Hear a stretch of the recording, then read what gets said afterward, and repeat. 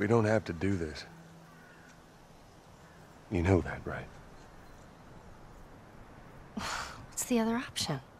Go back to Tommy's. Just be done with this whole damn thing. After all we've been through. Everything that I've done. It can't be for nothing.